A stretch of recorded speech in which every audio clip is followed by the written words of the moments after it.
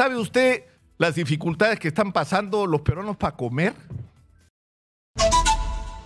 Para usted la economía está muy bien, porque el señor ministro de Economía le dice, hemos crecido, Dina. ¿Qué ha crecido? Ha crecido el precio de los minerales en el mundo. El cálculo del Instituto Peruano de Economía, que no tiene nada de zurda, ni de opositora, ni de nada, es un organismo absolutamente técnico, lo que dice es que si seguimos así, la proyección de la caída de la inversión va a ser de más del 1.5%. Porque no hay confianza en gente como usted, señora Dina Boluarte, porque su palabra no tiene valor, porque como le dijo con coraje ayer Yanela Aguirre, nuestra reportera, nadie le cree, señora Dina Boluarte. Y le digo más, a ver si se va enterando. ¿Sabe usted las dificultades que están pasando los peruanos para comer? O sea, no estoy hablando para irse de vacaciones, ¿ah? Ni las dificultades que están eh, pasando los peruanos para comprarse relojes, no, para comer, para darle de comer a su familia. 16.6 millones de peruanos están en este momento, casi la mitad de la población, en lo que se considera riesgo alimentario. Señora Boluarte, ¿sabe qué significa eso?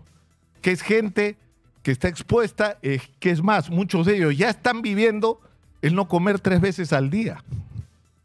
Y hay familias en que los padres dejan de comer para que coman los hijos. Y hay gente que se va a dormir sin haber comido. Y hay gente que no está comiendo los siete días de la semana. Y hay gente que dejó de comer proteínas porque no las puede pagar. Entonces ha tenido que bajar la calidad de su alimentación para poder sobrevivir. Con todas las consecuencias que eso tiene para su salud, para su capacidad para trabajar, pero sobre todo con todas las consecuencias que eso tiene para los niños.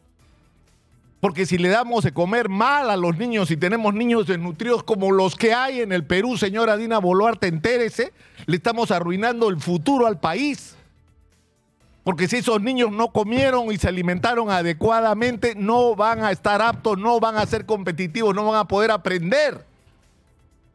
Y usted es la responsable, y por supuesto no solo usted, pero usted ya no le puede echar la culpa a los anteriores porque usted ya va a cumplir dos años en el gobierno. Esta es la realidad que están viviendo los peruanos. Esta es la realidad. Y es una realidad que no merecemos. Porque somos el país de las oportunidades. Porque somos el país que tiene oro, cobre, plata, agricultura exportación, pesca, que se ha disparado no por la inteligencia del gobierno, sino por la naturaleza. Es decir, somos un país rico, solo que está gestionado por gente inepta como usted, señora, y por gente corrupta que la justicia dirá si usted también entra en la lista o no. Acaban de sentenciar a Alejandro Toledo, presidente de la República, supuestamente salvador de la democracia peruana, un ladrón, un ladrón simplemente. Y no va a ser el único. La lista va a seguir, que es como debería hacerse las cosas en el Perú, pero hoy estamos enfrentados a una situación particularmente crítica.